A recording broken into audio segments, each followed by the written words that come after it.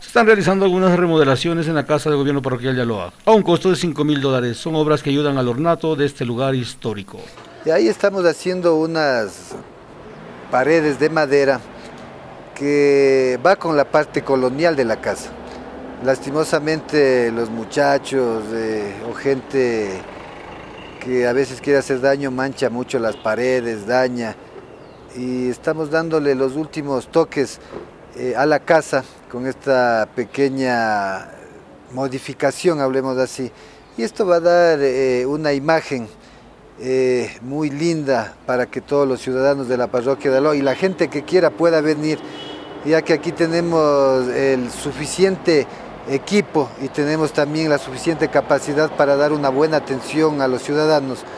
Hoy no podemos decir solo el municipio o el Consejo Provincial tiene su gran edificio o el municipio su gran casa colonial, no, también el gobierno parroquial tiene su casa reconstruida para, para que sus ciudadanos vengan acá y puedan ser atendidos. Aquí dentro de la casa parroquial está la tenencia política, el registro civil, la junta de aguas, está el gobierno parroquial y también están los compañeros vocales que van a tener sus oficinas.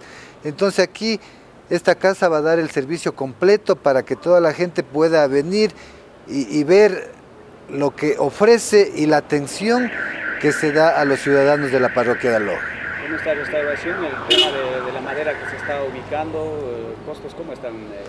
Ya, esto más o menos de la totalidad de lo que es el salón amarillo que está en el segundo piso y la parte baja más o menos, esto está a unos 5 mil dólares, que esto ya estaba presupuestado ya en la finalización de la otra administración, pero por temas de, de recursos, ustedes saben, cada administración tiene que abrir sus nuevas cuentas con el Banco Central, eh, presentar un poco de documentación al Ministerio de Finanzas.